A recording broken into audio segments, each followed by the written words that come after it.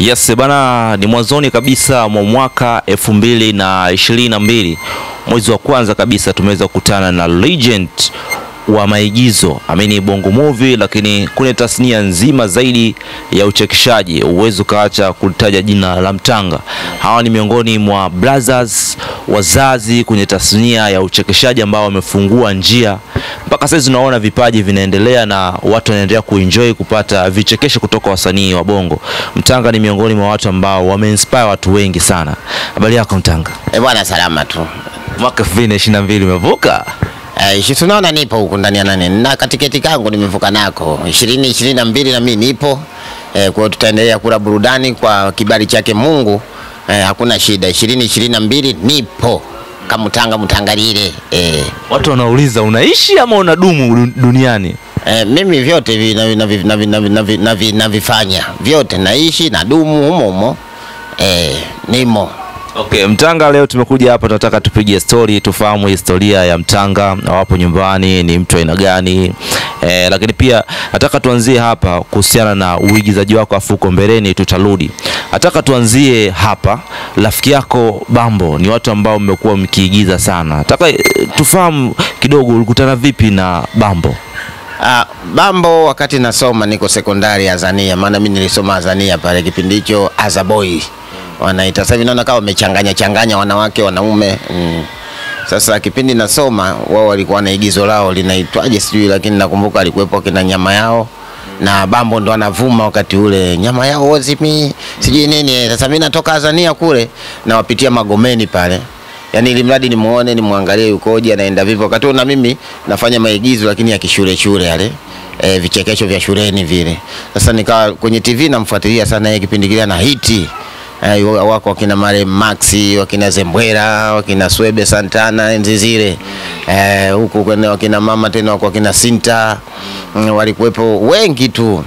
Kwa hiyo nikawa napita pale ka, Kaole Magomeni na kanje na wasubiria nafanya mazoezi yakija tunapiga stori mbili tatu nini nini nini, eh, lakini lengo langu kubwa ilikuwa kwamba nimsome ambao katika hali yake ya kawaida anakuwa vipi, katika maisha ya kawaida yukoje, e, ili na mimi niwe na gema mule napata cha kuanzia kwamba katika safari yangu ya uchekeshaji siku moja nikijengea kwenye TV niwe hivi eh. Okay, mtango umekuwa ni rahisi kabisa kutoa, tunasema ku, ku, ku respect kumshukuru mtu ambaye alikuwa ame- amekuinspire, lakini wapo waigizaji wa vichekesho ambao walikuwa wanawatazama nyie toka zamani, wanachungulia hadi madirishani kwenye TV, wanamwangalia Mtanga, wanashinda ku appreciate hiki kitu kwamba wakina Mtanga ni watu ambao wametunyoshea si njia mpaka leo tunapata manufaa. Hii ina, inakaeje? Ah, unajua tenda wema uende zako, usingoje nini? Shukrani eh, au malipo. Sasa mimi nafanya sanaa kama kipaji. Na kile kipaji walaji ndio hao wananchi huko. Kwa hiyo anayevutiwa akitaka kunishukuru is okay, anayevutiwa akiwa ananishukuru kimya kimya sawa. Kuna mwingine hawezi kushukuru hadharani hadharani anajifanya "Ah, hamna kitu, lakini akikaa peke yake huko namwambia, lakini jamaa liko vizuri zuri lile. Umeona, wapo design hiyo. Kwa hiyo unakubaliana na yote Umeona, kwa hiyo mimi kama kuna watu nime inspire wameingia kwenye game kwa ajili yangu eh, namshukuru Mungu eh, na wao vile vile wapambane tufike huko tunakokwenda yeah. Kuna moja interview nimefanya nyingi interview na ma legend ambao walianza sanaa kipindi cha nyuma, ambapo mtu kumfahamu mpaka uwe na TV ama ukachungulia TV kwa, kwa jirani. Saizi mitandao ya kijamii kuna deals. Kipindi chenu nyinyi malegend ma legend wengi walikuwa wanasema kwamba mlikuwa mnajitolea e, unaingia kuna sanaa lakini unajitolea, malipo ni hakuna. Hii mlikuwa mnawezaje kuishi? Ah, sisi kipindi kile kwanza mtu ulikuwa hauna majukumu. Nadhani ukishaingia kwenye majukumu mambo kama yale unakuwa uyaweza. Sasa kipindi kile kwanza kitu kinakuwa kwenye damu, alafu unakuwa unataka kukifanya. Kwa hiyo unajitolea tu, unapiga kazi ile ukipita mta, kujiona kwanza kwenye TV ile au kujisikia kwenye labda ka, ka redio nini ile unaona ah, bwana mnanisikia mimi au vile ukipita tu, "Eh, bwana tumekuona, basi ile ilikuwa kwako mtu ni faraja, una haja ya hela wala nini, kwa sababu zamani ile hamna haja kuangalia na una gari aina gani una nini. Zamani wote tunapiga kwa miguu, umeona. mm. Tunachotofautiana ni ile huyu fulani bwana nimemwona jana. Kwa hiyo sisi tulikuwa tunafanya zile kazi kwa kujitolea, wakati huo kumbe ilikuwa ni kipaji kina kusukuma kwamba hichi kitu kipo ndani ya damu, tofauti na sasa hivi. Wengi wanakuwa wanaingia kwa kutafuta ajira, wengine wanaingia kwa kumwona fulani, lakini mwenyewe hajajitathmini kama ana kipaji au hana. E, ndio tulivyokuwa tunafanya zamani. Mtanga, turudi hapa kwenye safari yako. Kuna moja ya interview yako nimepitia, nimefahamu kwamba wewe ni mzaliwa wa Tanga. Nataka nifahamu safari yako kutoka Tanga hadi Dar es Salaam, ilikuwa ni mwaka gani? E, mimi nimezaliwa miaka mingi iliyopita maana nikaanza shule ya msingi Kipumbu iko Pangani, Sakura kijiji fulani ndicho nilikozaliwa huko. E, baadaye nikahamia Magomeni Turiani, kuna shule ya msingi Turiani Dar es Salaam. E, nika naendelea na masomo yangu ya shule ya msingi na kama Manzese darajani kipindi Msufini kipindi kile. Sijui kama mliokuta nyi Msufi. Sasa tulikuwa hatujafika Dar es Salaam hapo. Eh, sijui kama ulikuwa uko Dar es Salaam au uko tena bado uko kwenye furaizi ya mzee, sijaelewa. Umeona, lakini kipindi kile kulikuwa na msufi. Umeona, kwa nakaa pale nasoma Magomeni, tunaenda kwa miguu. Wakati huo kuna mikarusi ndio madaladala peke yake hayo.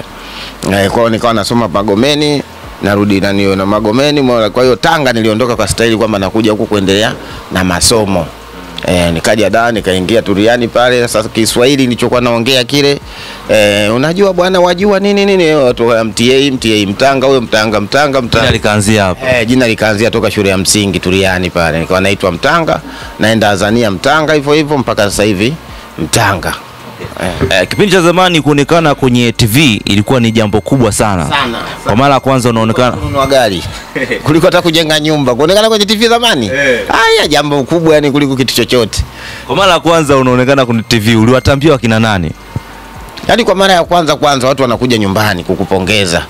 Huyu kanunua Pepsi, huyu kanunua sijui soda gani, unaletewa soda zile juisi. Superstar wa mtaa mzima. Yaani watu wanakuja kumpongeza pale unapokaa, maona watu wanafurahia siku hiyo utashinda nao mpige nao story nini, kwa sababu kakuona tu.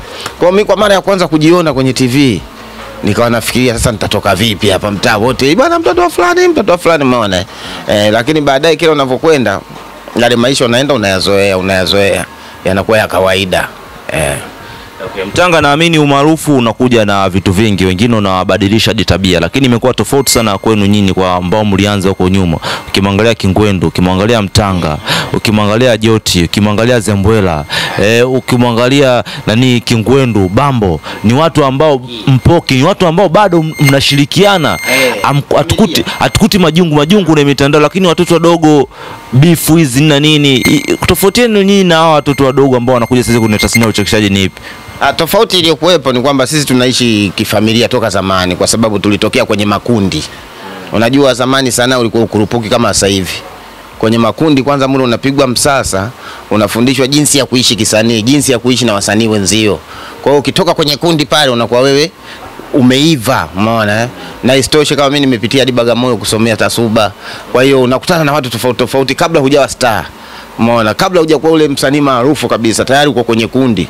Ukiangalia wakina Mpoki wametokea mambo hayo, umeona kule kulikuwa na wakina Seki, wakina Joti huyo nani kule. Kwa hiyo kulikuwa na wakubwa kule wanafunza wakina Bamba wametokea Kaore, Mtanga katokea nani Splendid. Kwa hiyo kulikuwa na makundi makubwa ambao ndani ya makundi ilikuwa kama ni familia, watu wanaishi kama na wazazi wao. Kulikuwa na wazee wakina mzee Pwagu, wakina mzee Kipara, umeona eh, wakina mzee Kasim Twalibu wale. Kwa hiyo tulikuwa tunafundishwa, unajengwa kimaadili, unajengwa kikazi yako unavyotakiwa kuishi, unajengwa kukaa na jamii, unajengwa kukaa na wasanii wenzako.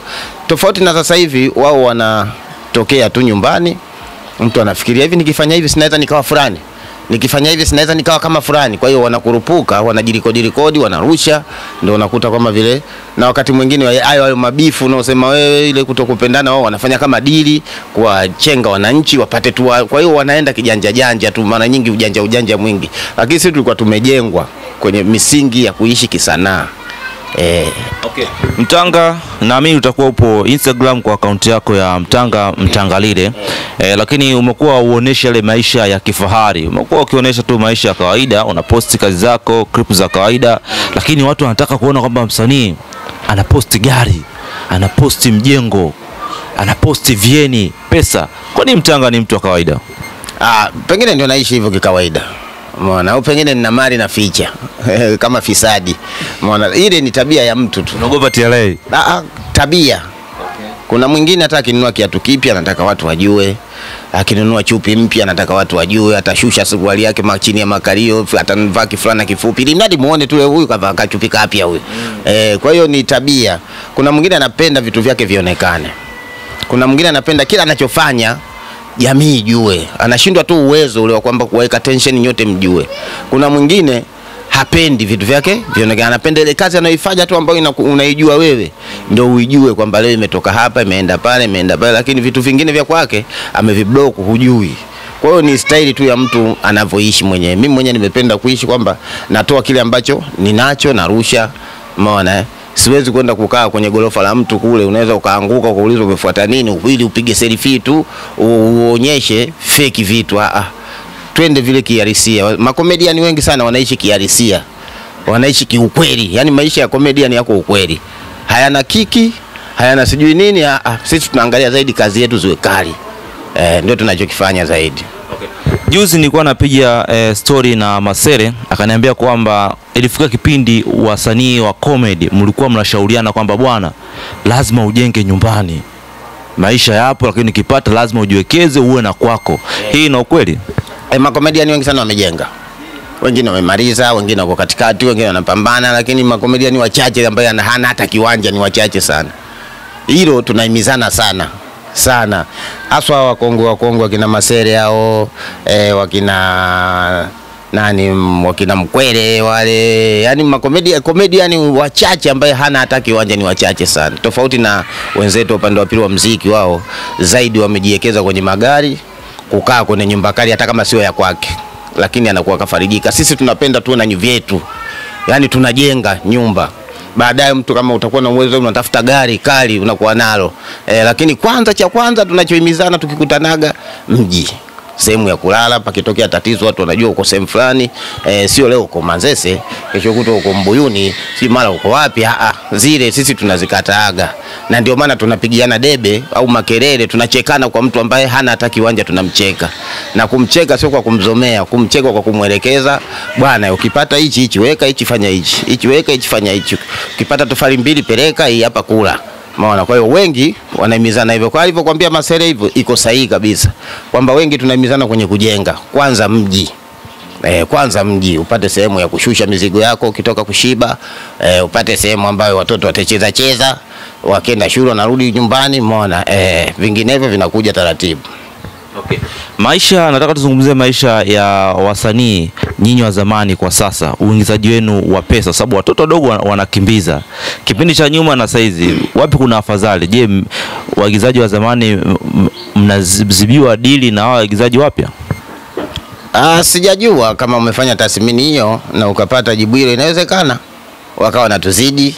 eh, lakini kikubwa wao sasa hivi ni kujiweka kwenye mitandao kwa wingi na kupata dili za hapa na pale, sio mbaya, ni njia zao nao wamebuni, ambapo na sisi pia tunapita humo tumo eh, ila wanacho ni shangaza wao wana feki sana. Wewe unaweza ukadhani mtu ana maisha mazuri ukaja kumkuta kumbe hayuko vile. Eh, kwa hiyo wana feki sana kwenye mitandao kujionyesha kwamba yani kumwaminisha mwananchi au mtu kwamba yeye anaishi vile, kumbe hayuko vile. Eh, kwa hiyo sisi kufeki tunashindwa. Sisi tuna yani hatupe, sijui tunashindwa, sijui hatupendi, lakini wenzetu wanapenda ni kufeki vitu, kwamba mtu anajifanya kakaa kwenye kagari hivi tapia picha Ona bwana yeye nikiwa amazing sehemu fulani nimepumzika na kuna upepo mzuri mfukoni, anatamia ana, lakini anakuwa jasiri wa kuandika maneno hayo na kuyatupia kwenye mitandao, ili mradi akujenge wewe umuone kwamba ana pesa ya kutosha. Eh, sasa sisi kufeki hatuwezi. Mtanga, ukiangalia e, tasnia ya uchekeshaji saizi, ni kitu gani ambacho unaona kinakosekana? Story labda watu wa sasa hivi wanakuwa wana yani wanakurupuka kurupuka, hawatulii vichwa vyao kuchimba madini yale. Nadhani ukipindi wakina Marem Max wapo, wewe ulikuwa sijui umeshazali Kulia kwenye video tu wakina Max. ulikuwa unaona uchekeshaji ule kwamba kuna story inaanza mwanzo kati mwisho ndani na mafundisho na vichegesho na kila kitu. Sasa hivi wengi tunafanya mahoka, yaani kitimbu, unaenda kituko chochote ukanyanyua mguu hivi, watu wakaona nguo ya ndani, umeona hey, ikavuma ikavuma ikawa hivyo, umeona story ikaenda hiyo. Kwa hiyo kuna kwa hakuna kitu maalum sasa hivi ambacho unaweza ukasema ndio kinachochekesha hata wewe unaweza kuwa mchekeshaji ukafanya tu kitu chochote, kwa ah, jamaa yule. Kwa hiyo watu wa sasa hivi wanakwenda hivyo bila story bila nini, ndio naona ambacho ninachomisi kwamba zamani kulikuwa na stori za mafundisho. Ukiangalia komedi za kina Mzee Majuto, ukienda za Wakongo, ukienda za Uganda, ukienda hata mtu anapopiga stand up comedy anachokihadisia unakielewa, lakini sasa hivi kuna vituko tu yani kafanya hichi karusha kapata viewers wengi, eh, huyu ndo anaongoza, huyu ndio mchekeshaji mzuri, ndo tunavyokwenda sasa hivi.